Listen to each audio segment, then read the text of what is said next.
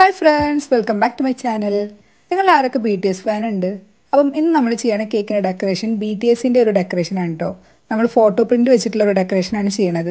നമ്മുടെ ബർത്ത്ഡേക്കുള്ള ഒരു കടുത്ത ബി ടി എസ് ആരാധികയാണ് തോന്നുന്നുണ്ട് കേട്ടോ അപ്പം ആദ്യമായിട്ടാണ് ഞാൻ ബി ടി എസിന്റെ തീമിലുള്ള ഒരു ഡെക്കറേഷൻ ചെയ്യണത്. ഒന്നര കെ ജി വെയിറ്റ് വരുന്ന വാൻജോ കേക്കിലാണ് കേട്ടോ നമ്മൾ ഡെക്കറേറ്റ് ചെയ്യണത്. കുറേ കാലത്തിന് ശേഷമാണ് വാൻജോ കേക്കും ഡെക്കറേറ്റ് ചെയ്യണത്. അപ്പം നമ്മൾ first layer chocolate second layer vanilla അങ്ങനെ ഫോർ ലെയർ ആയിട്ടാണ് നമ്മൾ ചെയ്തെടുക്കുന്നത് അപ്പം ഇതിനായിട്ട് സെവൻ ഇഞ്ചിന്റെ മുകളിലാണ് ഞാൻ ബേക്ക് ചെയ്ത് കൊടുത്തിട്ടുള്ളത് രണ്ട് ടൈംസ് ആയിട്ട്. അതായത് ഫസ്റ്റ് ടൈം നമ്മൾ വാനില സെക്കൻഡ് ടൈം ചോക്ലേറ്റ് അങ്ങനെ രണ്ട് ടൈമിലായിട്ട് ബേക്ക് ചെയ്തെടുത്തിട്ടുള്ളതാണ് കേട്ടോ ഒന്നര കിലോ എന്ന് പറയുമ്പോൾ മുക്കാൽ കിലോ വാനില മുക്കാൽ കിലോ ചോക്ലേറ്റ് അങ്ങനെ നമ്മൾ ബേക്ക് ചെയ്തെടുത്തിട്ടുള്ളത്.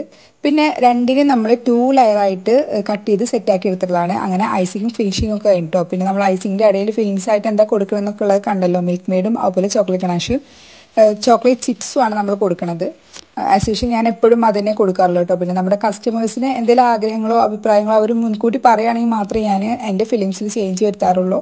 പിന്നെ ബി ടി എസിന്റെ തീം എന്ന് പറയുമ്പോൾ എന്തായാലും പർപ്പിൾ കളറായിരിക്കും വരുന്നുണ്ടാവുക അപ്പോൾ നമുക്ക് ഓൾറെഡി ഡെക്കറേഷൻ ചെയ്യേണ്ട ഫോട്ടോ ഒക്കെ അയച്ചു തന്നിട്ടുണ്ടായിരുന്നു കേട്ടോ. അപ്പോൾ അതേപോലെയാണ് നമ്മൾ ചെയ്തെടുക്കുന്നത് അടിഭാഗത്ത് പിങ്ക് കളറും മോൾ ഭാഗത്ത് പർപ്പിൾ കളറും അങ്ങനെയുണ്ട് നമ്മുടെ ഡെക്കറേഷനിൽ ഉണ്ടായിരുന്നത്.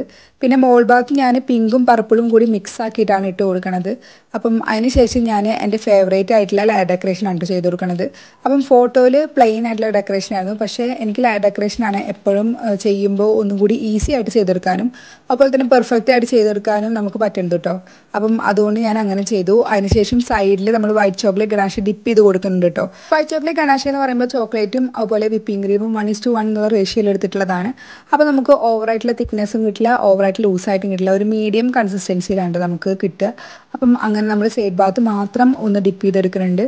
പിന്നെ നമ്മൾ അതിന്റെ മുകളിലായിട്ട് ചെറിയൊരു ബോർഡർ ഡെക്കറേഷനും കൊടുക്കുന്നുണ്ട്. അതിന് ഞാൻ പർപ്പിൾ കളറും പിങ്ക് കളറും മിക്സ് ആയിട്ടാണ് ക്രീം എടുത്തിരിക്കുന്നത്. പിന്നെ ഓപ്പൺ സ്റ്റാർ നോസിലാണ് എടുത്തിരിക്കുന്നത് അപ്പം ഇതൊക്കെ നമുക്ക് തന്നിട്ടുള്ള ഡെക്കറേഷനിൽ ഉള്ളത് തന്നെയാണ് കേട്ടോ. അപ്പോൾ സെയിം അതുപോലെ തന്നെ ചെയ്തെടുക്കുകയാണ് പിന്നെ സൈഡ് ബാത്ത് ഇങ്ങനെ ഇത് പ്രസ് ചെയ്തിട്ടുള്ള ഒരു ഡെക്കറേഷനും കൊടുക്കുന്നുണ്ട്.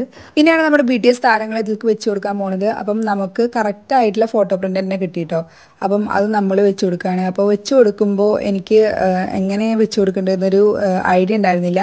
അപ്പോൾ ഫോട്ടോയിലൊക്കെ നമുക്ക് തന്ന ഫോട്ടോയിലൊക്കെ ഒതുങ്ങിയിരിക്കുന്നുണ്ടായിരുന്നു. ഞാനെടുത്തതിന്റെ സൈസ് കുറച്ച് കൂടിയും കുറഞ്ഞിട്ടൊക്കെ ഇരിക്കുന്നുണ്ടായിരുന്നത്.